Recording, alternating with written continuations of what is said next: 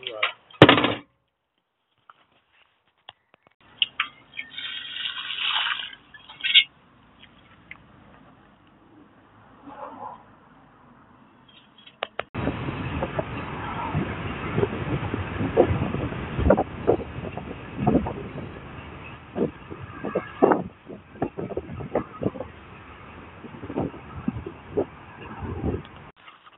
just found out you can zoom in.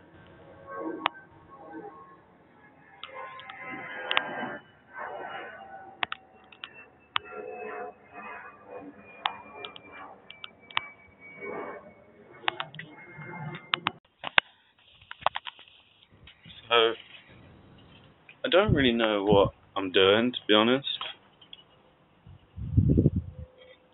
Um, not really.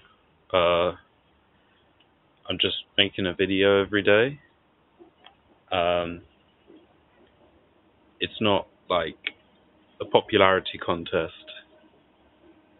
Uh, I'm literally doing it because I'm bored.